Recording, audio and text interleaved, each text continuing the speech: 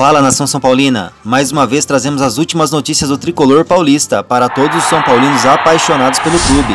Não saia do vídeo sem deixar o seu like, pois isso fortalece muito o nosso São Paulo e mostra a grandeza da nossa torcida. Ataque do São Paulo pode sofrer alterações contra o São Bento, entenda! O São Paulo visita o São Bento em Sorocaba, às 19h30 horário de Brasília, desta terça-feira pela décima rodada do Campeonato Paulista.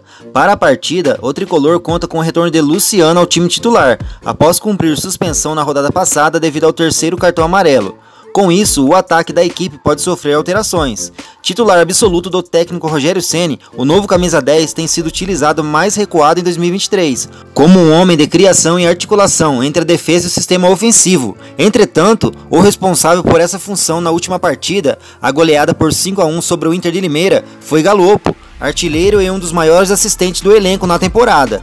Dessa forma, a tendência é que o argentino siga entre os 11 titulares. O comandante, portanto, tem como solução a alteração do posicionamento do camisa 14, que passaria a jogar mais pela esquerda, assim como fez na vitória no clássico contra o Santos. Nessa circunstância, Nestor iria passar para o banco de reservas e o quarteto mais ofensivo do São Paulo seria completo por Wellington Rato e Caleri. Aliás, o centroavante argentino, que teria uma maior concorrência na posição com a contratação de Erisson, segue como titularidade garantida após o brasileiro sofrer um estiramento na coxa esquerda no primeiro tempo do jogo contra o Bragantino e aumentar ainda mais a lista de desfalques do clube. Por outro lado, outra mudança que pode ser promovida por Rogério Ceni no ataque é que entrará em campo nesta terça-feira é a troca de Wellington Rato por Pedrinho. O jogador, ex-atlético goianiense, entrou em campo em todos os novos compromissos do tricolor no Paulistão sendo titular em oito deles. Assim, é o terceiro atleta do grupo com mais minutos somados, com 625, apenas atrás de Rafael, 810,